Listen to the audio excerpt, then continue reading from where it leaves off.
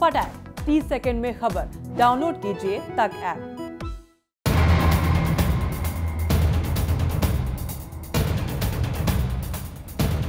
अक्सर लोग अपने मोबाइल में कुछ इस तरह मग्न हो जाते हैं कि दीन दुनिया को ही भूल जाते हैं।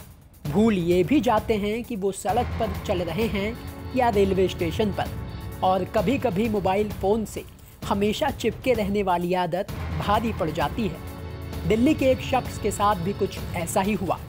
जैसा कि आप इस सीसीटीवी में देख सकते हैं कि एक शख्स अपने मोबाइल को देखने में इतना खोया हुआ था कि उसे पता ही नहीं लगा कि वो अपने घर में नहीं, बल्कि मेट्रो स्टेशन पर है। और अचानक अपने फ़ोन में देखते ही देखते मेट्रो ट्रैक पर जा गिरा। ट्रैक पर गिरने की वजह से शख्स के घुटने में इतनी ज़ोर से चोट लगी कि उससे खड़ा भी नहीं हुआ जा रहा था। जैसा कि आप इस सीसीटीवी में देख सकते हैं कि मेट्रो ट्रैक पर गिरा शख्स बार बार उठने की कोशिश तो कर रहा है, पर उठ नहीं पा रहा।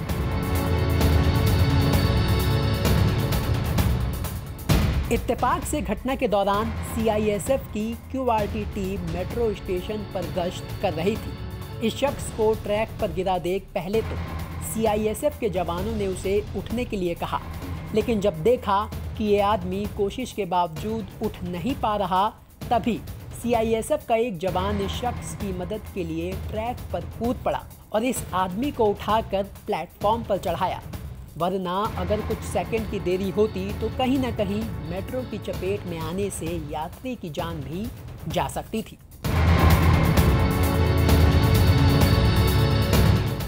बता दें कि ये घटना दिल्ली के शहादरा मेट्रो स्टेशन के प्लेटफॉर्म की है, जो शुक्रवार की रात करीब आठ बजकर तैतालीस मिनट पर हुई थी। जानकारी के लिए आपको बता दें कि मेट्रो ट्रैक पर गिरने वाले शख्स का नाम शैलेंद्र बताया जा रहा है तो वहीं शख्स को बचाने वाले सीआईएसएफ के जवान का नाम रोहतास है, जो सीआईएसएफ में कांस्टेबल के पद पर तैनात है। तो इस हादसे से हमें ये सीख मिलती है कि मोबाइल से हमेशा चिपके रहने की आदत हमारे लिए बड़ी मुसीबत भी बन सकती है।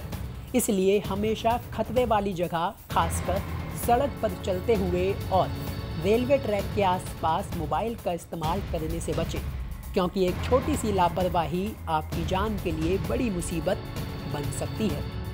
ब्यूरो रिपोर्ट, दिल्ली तक।